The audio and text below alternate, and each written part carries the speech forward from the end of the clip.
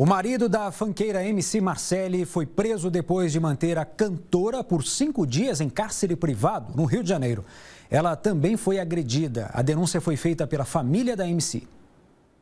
MC Marcelli chegou à delegacia acompanhada por dois advogados. Segundo a polícia, a fanqueira era mantida refém pelo marido e empresário Francimar Jorge Cavalcante, no apartamento do casal, em um condomínio na zona norte do Rio. De acordo com a investigação, quem chamou a polícia foi a cunhada de MC Marcelli, que forneceu fotos e áudios da agressão para os advogados da cantora e para a delegada que cuida do caso.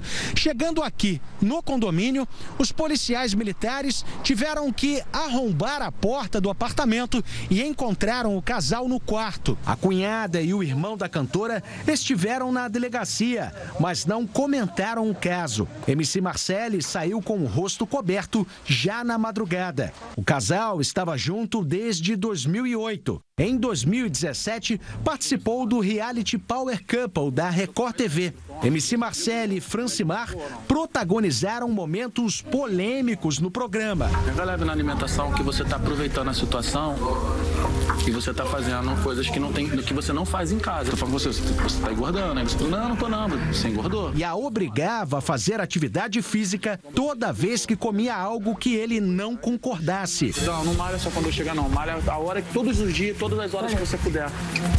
Tá bom, vou deixar. Tá debochando da minha cara não? Em 2013, MC Marcelli ficou nacionalmente conhecida com a música Bigode Grosso, o primeiro grande sucesso da cantora. Tu tá maluco? Respeito moço, patente alta da aula é. Francimar é conhecido no mundo artístico como Frank Cavalcante. Ele já tem passagem pela polícia por desacato à autoridade e desobediência. Ainda hoje deve ser encaminhado ao sistema penitenciário do Estado.